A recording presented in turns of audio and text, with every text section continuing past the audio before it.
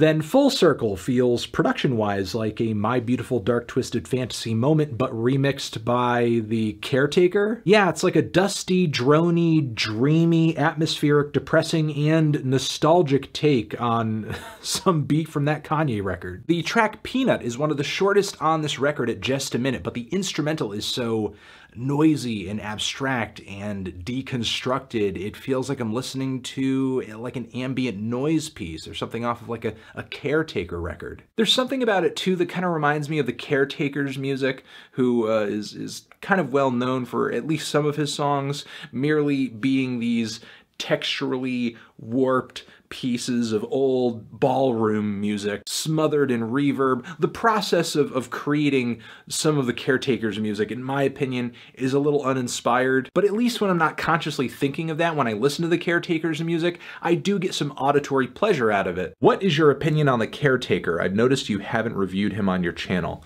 I mean, aesthetically, I enjoy what the Caretaker has done in the past, though I'm not really all that crazy about the process of, of the uh, music on the creative side, but that's more of an opinion on the older stuff uh, from the project. I have not reviewed the latest project, which is getting rave reviews, which I should definitely take the time to sit down and digest before the year is over. Uh, we will see if I manage to do that.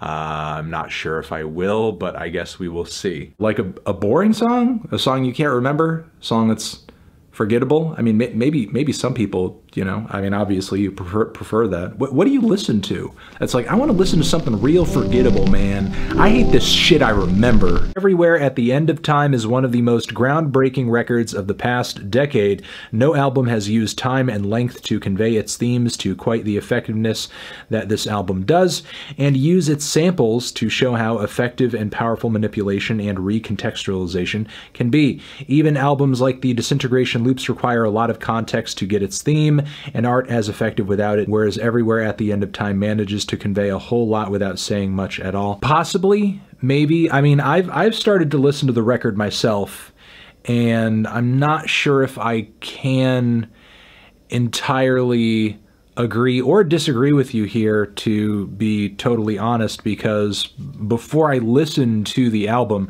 I like read pretty deeply into like each phase of the album and the whole concept which honestly I had only heard a bit about before and just kind of knew about in a vague sense. I suppose if I was going to test whether or not what you're saying here is absolutely true I should have gone to the album without having read anything uh, but now that I am part of the way into the record I, I have kind of spoiled the whole concept for myself.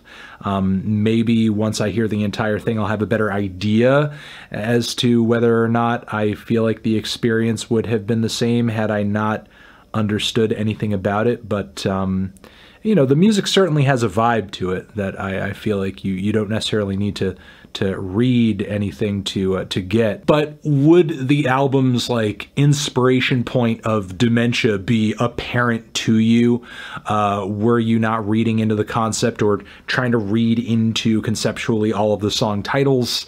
Not necessarily. Which is not to fault the art at all or say that it's not uh, good art or that it's weak because its uh, concept and themes aren't apparent to you, don't bang you over the head. I'm just saying, like, I mean, you have to admit, the record is pretty abstract. And when you're talking about music in that lane of that style, uh, it's going to be open to interpretation. And when you expose like a large amount of people to that sort of thing, you're going to get a range of responses and ideas as to what exactly it's all about. Feels like I've either dropped acid at a traditional Italian restaurant or, I don't know, the meme version of the caretakers everywhere at the end of time, but the music that your dementia is taking away from you is Dean Martin. For sure, there are plenty of artists who have shown there's a lot of artistic merit in playing it kind of straightforward or direct in the ambient field. Tim Hecker, Grouper, Oneohtrix, numerous vaporwave artists, as well as The Caretaker.